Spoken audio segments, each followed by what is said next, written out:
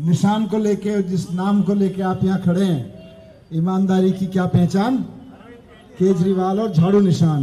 ईमानदारी की क्या पहचान? ईमानदारी की क्या पहचान? ये जो केजरीवाल जी हैं, इनका फ़ोटो देखते हो ना तो कश्मीर से कन्याकुमारी तक एक ही चीज़ याद आती है कि ईमानदारी की राजनीति क्या होती है। कश्मीर से कन्याकुमारी तक कहीं भी कोई भ्रष्ट नेता अरविंद केजरीवाल जी का फ़ोटो देख लेता है ना तो उसको लगता है ये आदमी अपनी पार्टी लेके हमारे राज्य में ना आ जा नहीं तो राशन पानी बंद कर देगा। आपकी पार्टी से डरते हैं लोग, इसी बात से डरते हैं। इसीलिए पूरे देश में ईमानदारी की एक ही पहचान है, केजरीवाल जी और झाड़ू का निशान। आपको मैं बधाई देता हूँ इस हिम्मत के लिए। आम आदमी पार्टी की के जज्बे के लिए, उस एकजुटता के लिए जो आप सबने दिखाई है। मुझे जेल में डाला, मैं अभी आ रहा था जेल की तरफ़ से निकल के। मैं सोच रहा था, यहीं तो रहता था, सत्रह महीने से पड़ोस में ही था आपके। लेकिन इनकी कोशिश क्या थी? कोशिश ये थी कि इन्हें डरा दो, किस चीज़ से डरा दो? कि भाई काम ना कर पाए, ये कहीं भी बाकी पार्टियों के नेता थोड़ी गुंडागरी दिखा के पार्क कब्जा लेंगे, किसी कॉलोनी की जगह कब्जा लेंगे, स्कूल कब्जा लेंगे, किसी प्राइवेट प्रॉपर्टी को कब्जा लेंगे। ये आम आदमी पार्टी वाले आए, इन्हीं कब्जों को छुड़ाने के लिए आए। या छुड़ाया कि नहीं छुड़ाया? छुड़ा के स्कूल बनवाया वहाँ पे। ये हिम्मत आम आदमी पार्टी दिखा सकती है, कोई देश में नहीं दिखाता। इस हिम्मत से डरते हैं ये। आम आदमी पार्टी के नेताओं में और आम आदमी पार्टी के कार्यकर्ताओं में यही हिम्मत है जिससे डरते हैं ये लोग। ईमानदारी की हिम्मत से डरते हैं। इन्होंने पूरी कोशिश की कि इनके ऊपर बेईमानी का दाग चिपका दो, बेईमानी का दाग चिपका दो, बेईमानी का दाग चिपका दो। लेकिन जब झूठे केस लगाए इन्होंने, इन्हें लगा, यार, आठ साल हो गए थे मुझे तब काम करते करते। बोले, आठ साल से वित्त मंत्री है दिल्ली का, कुछ तो घर में मिलेगा।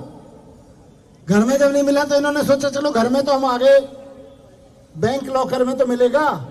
इन्हें पता चल गया बैंक से कि दो साल से इसका बैंक लॉकर नहीं खुला। इन्हें लगा बैंक लॉकर में तो मिलेगा। बोलेगा बैंक लॉकर खोलो, मैंने खोल लो।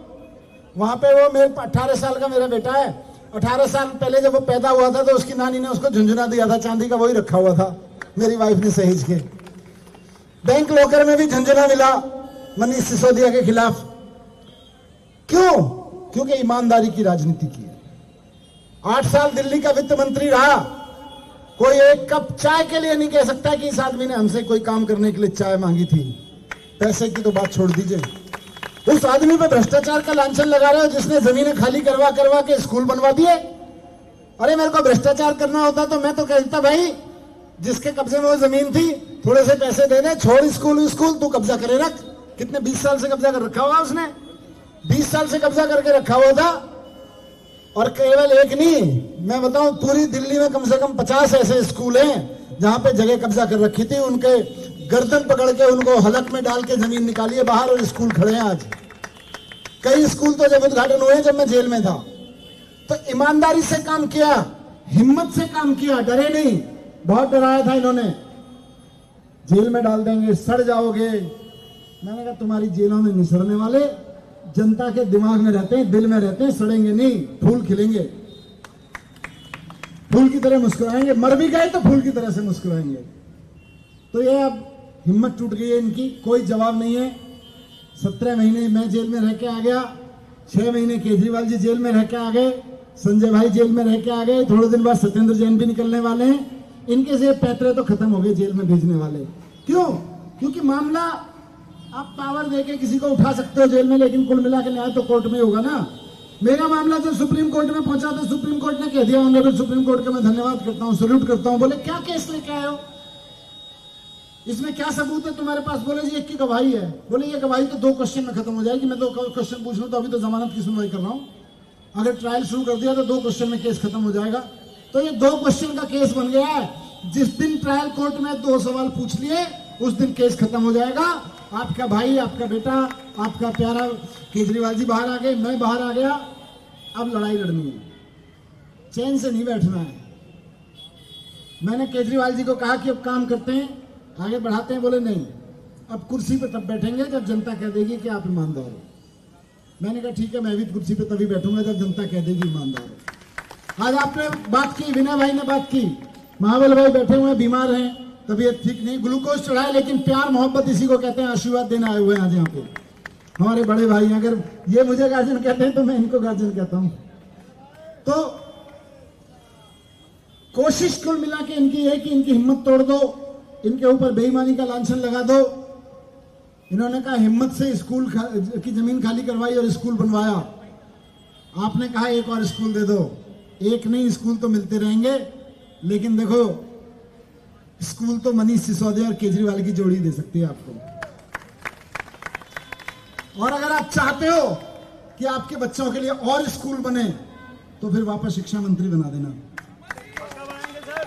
तीन महीने बाद चुनाव है। तीन महीने बाद चुनाव है। चार महीने के अंदर अंदर चुनाव बोलेगा मेरे ख्याल से, चार एक महीने।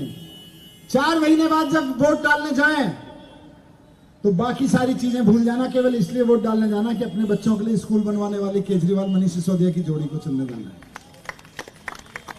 आपका वोट सुप्रीम कोर्ट ने कह दिया केस नहीं बनता बेल ले लो केस ट्रायल में खत्म हो लेगा हो ही जाएगा। सुप्रीम कोर्ट ने कह दिया अब ज़्यादा चिंता की बात नहीं है। लेकिन अब कुर्सी में तभी बैठूँगा जब आप दोबारा से बिठाओगे नहीं तो नहीं बैठूँगा। शिक्षा मंत्री बन मैं तो पत्रकार था। शिक्षा मंत्री बनने के लिए राजनीति में नहीं आया था, डिप्टी सीएम बनने के लिए राजनीति में नहीं आया था, लेकिन आपने बिठा दिया तो फिर वहाँ पे स्कूल बनवाए ईमानदारी से बैठ के। आज फिर कह रहा हूँ, लांछन लगा हुआ है मेरे ऊपर और केजरीवाल जी के ऊपर कि ये बेईमान है, ये बीजेपी वाले कहते हैं बेईमान है। बीजेपी वाले कहते रहे मुझे फ़र्क नहीं पड़ता। जनता कह दे कि ईमानदार है, हम वापस जाके कुर्सी पे बैठ जाएँगे।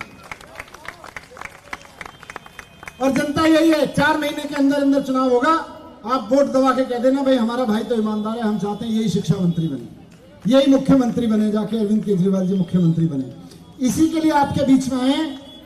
बस आपको ये रिक्वेस्ट है, ये बीजेपी वाले चारों तरफ़ घूम घूम के, अभी समझ नहीं आ रहा इनको क्या कहें। उनको लगा केजरीवाल जी को घेरेंगे, मुझको घेरेंगे।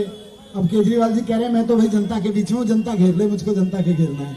मैं तो मैं तो जनता के घेरे में हूँ। मैं भी जनता के घेरे में हूँ आज मैं आपके बीच आया हूँ। आपका बहुत बहुत धन्यवाद इस सम्मान के लिए, प्यार के लिए। हमारे तीनों पार्षद भाई, बहन, सबको बहुत बहुत धन्यवाद। आपने इतना हौसला बनाए रखा।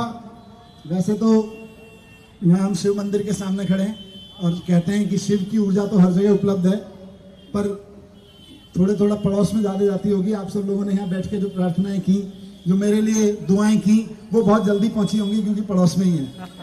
सत्रह महीने यहाँ पहुँची होंगी। थोड़ा यहाँ तो ऐसी जल्दी पहुँच जाती है ना? तो जल्दी पहुँच गई होंगी आपकी सबकी दुआएँ, इसलिए और प्यार, मोहब्बत मुझे मिली, मेरी हिम्मत बनती रही। आप सबका बहुत बहुत धन्यवाद। अभी चलेंगे। जब मैं जेल से आया था तो पदयात्राएँ शुरू की थी। उसका वो एक वही है कि भाई, आप बहुत जंतर मंतर वाली है कल गए थे सारे लोग। आप बहुत आईटी वाली है।